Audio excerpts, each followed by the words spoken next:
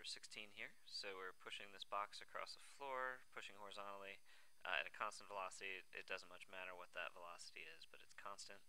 Uh, we're pushing it with 140 newton force and it's a 20 kilogram crate. So we don't know what the coefficient of kinetic friction between the surfaces is.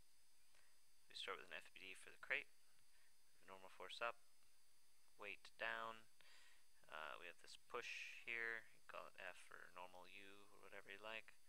We know that it's balanced with the friction because it's moving at constant velocity. Call up and right positive. F net y is n minus mg, which is 0. F net x is f minus mu sub kn, which is 0. We're solving for mu sub k. So f is mu sub kn, which is n is mg, mu sub k mg. So mu sub k is f divided by mg. That's 140 newtons divided by 20 kilograms times 10 newtons per kilogram.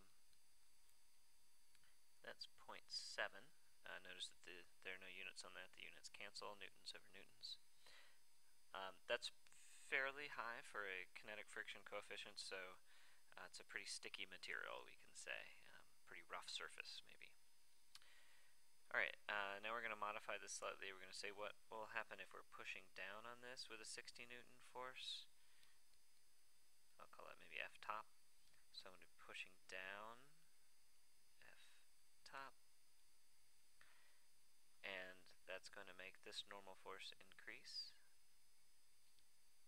because that's still going to be balanced, and that'll, that'll make this increase, which means we're going to have to push harder. So mu sub k stayed the same because that's about the surfaces, but the n changed, so the friction force has changed.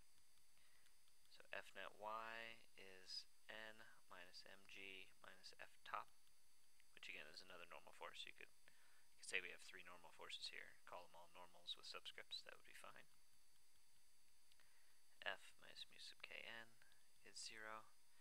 So we're looking for f now. f is mu sub k times n, but n is mg plus f top.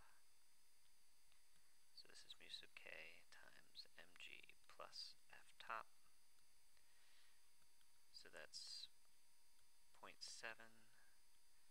times 20 kilograms, 10 newtons per kilogram, is mg plus, uh, what was that, an extra 60 newtons? That'll be 182 newtons. So bigger than the 140 newtons you needed to push with before.